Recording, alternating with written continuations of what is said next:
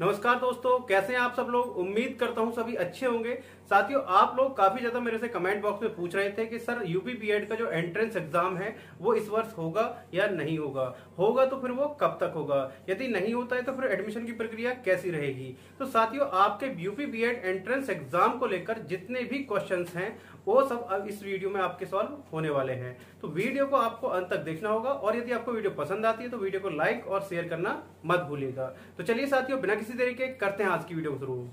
साथियों, वीडियो शुरू करने से पहले मैं आपसे कहूँगा, यदि आप इस चैनल पर नए हैं तो सबसे पहले चैनल को सब्सक्राइब कर लीजिए और बेल आइकन को प्रेस कर लीजिएगा, क्योंकि एजुकेशन से जुड़ी कोई भी अपडेट होती है, सबसे पहले मैं आप तक तो पहुंचाता हूँ इस चैनल के माध्यम से। साथियों यूपी बीएड एंट्रेंस एग्ज़ाम जो कि टू ईयर बीएड के लिए हर साल उत्तर प्रदेश में कंडक्ट कराया जाता है। जिसके लिए जो उत्तर प्रदेश में सीट है, लगभग ढाई लाख सीट के लिए एग्ज़ाम कंडक्ट कराया जाता है और इसको पिछले कुछ सालों से लखनऊ यूनिवर्सिटी कंडक्ट करा रही है। इसके लिए जो इस बार फॉर्म फिल हुए हैं, वो लगभग पाँच लाख से अधिक फॉर्म फिल किए गए हैं। तो अब यहाँ पर सिचुएशन ये है, क्योंकि जो आपका एग्ज़ाम होना था, वो कोरोना की वजह से कैंसिल करना पड़ा।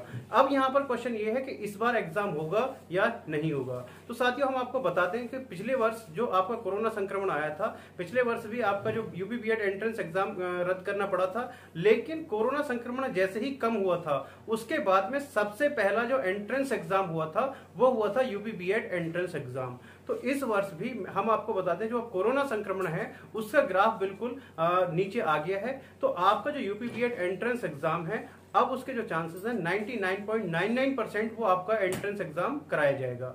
अब एंट्रेंस एग्ज़ाम कराया जाएगा तो फिर वो कब तक होगा? तो साथ ही जो यूपी बी एंट्रेंस एग्ज़ाम है, वो उसकी उम्मीद लगाई जा रही है कि आपका जुलाई में वो एंट्रेंस एग्ज़ाम कराया जाए। यानी कि जुलाई में, पंद्रह जुलाई के बाद में कभी भी एंट्रेंस एग्ज़ाम वो कराया जा सकता है। यानी कि कराया जाएगा पंद्रह जुलाई के बाद में। तो साथियों, आपको अपनी तैयारी में रहना है। यदि आप अपनी तैयारी कर रहे हैं यूपी बी एंट्रेंस एग्ज़ाम के लिए तो उसको कंटिन्यू रखना होगा। और साथ ही यदि आप यूपी बी में आप कहीं पर भी आप एडमिशन लेना चाहते हैं बीएड के लिए तो उसके लिए जो हमारा सक्षम स्कॉलरशिप एक टेस्ट होता है तो वो हर साल कंडक्ट कराया जाता है। जिसमें पिछले वर्ष भी लाखों बच्चों ने उसमें अप्लाई किया था और काफ़ी सारे बच्चों ने उसमें स्कॉलरशिप अपनी प्राप्त की थी। ये स्कॉलरशिप गवर्नमेंट से अलग है। तो साथ ही यदि आप भी सक्षम स्कॉलरशिप में भाग लेना चाहते हैं तो उसके लिए मैंने डिस्क्रिप्शन बॉक्स में लिंक दिया हुआ है। बिल्कुल फ्री ऑफ़ कॉस्ट है, बिल्कुल फ्री ऑफ़ कॉस्ट रजिस्ट्रेशन है। तो उसके लिए आप अप्लाई कर सकते हैं, जिसमें आपको सक्षम स्कॉलरशिप की तरफ़ से कंफर्म हो जाएगा कि आपको कितनी स्कॉलरशिप मिल सकती है। जो आपको गवर्नमेंट की तरफ़ से स्कॉलरशिप मिलेगी, वो आपकी अलग रहेगी। तो साथ ही यूपी बी एंट्रेंस एग्ज़ाम को लेकर जो भी क्वेश्चन क्वेरी थे, वो मैंने आपको अपडेट कर दिए हैं। यदि अभी भी आपको कोई क्वेश्चन रह गया है तो आप मेरे से कमेंट बॉक्स में पूछ सकते हैं।